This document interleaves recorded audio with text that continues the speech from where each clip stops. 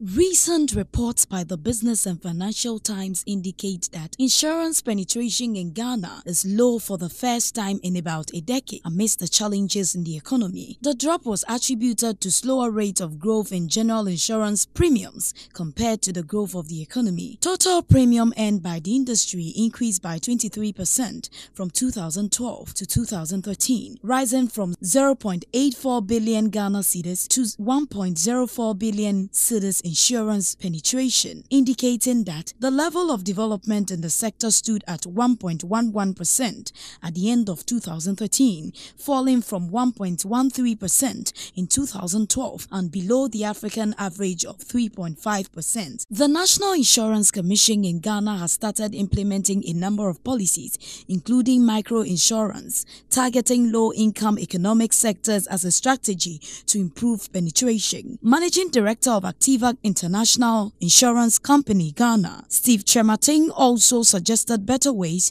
to improve the ratio of insurance premium to Ghana's GDP. Generally in Africa, insurance penetration is, is low.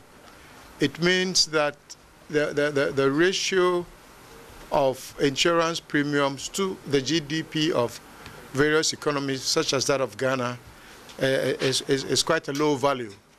Um, long and short, not that many people buy insurance. He said Activa Insurance has engaged international experts to improve the business risk exposures of its clients in Ghana. The risk surveys, which stretched across the 10 geographical regions of Ghana, was aimed at identifying physical risks that could expose our clients to the perils of fire, flood, earthquake, etc and to propose risk management measures one, to eliminate or reduce the presence of possible fiscal hazards that could lead to, lo to losses occurring, and to secondly, to reduce the impact of losses should they occur.